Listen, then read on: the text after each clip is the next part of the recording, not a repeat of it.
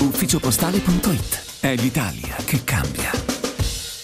Zeman è pronto a sedersi sulla panchina del Pescara e il Pescara è pronto per lo Zeman Ter. Dopo la stagione memorabile del 2011-2012 dei Verratti, Immobile e Insigne e della storica promozione in A e dopo quella meno memorabile ma comunque intensa con la retrocessione cinque anni dopo dalla A e il triste esonero nel marzo successivo in B, l'allenatore boemo alla tenera età di 75 anni e reduce dall'ottima esperienza con il Foggia lo scorso anno si prepara a un battesimo in biancazzurro anche nella terza serie con un premio promozione da inserire come suo costume nel contratto che la società adriatica ha preparato per lui. Fatale per Colombo che già in estate aveva visto l'ombra di Zeman alleggiare sulla sua investitura è stata la sconfitta di Cerignola di ieri, un 1-0 che ha visto la squadra biancazzurra non tirare neanche una volta in porta, ma più ancora il rendimento disastroso degli ultimi tre mesi dei biancazzurri che nonostante una media retrocessione dal dopo Pescara a Catanzaro del 27 novembre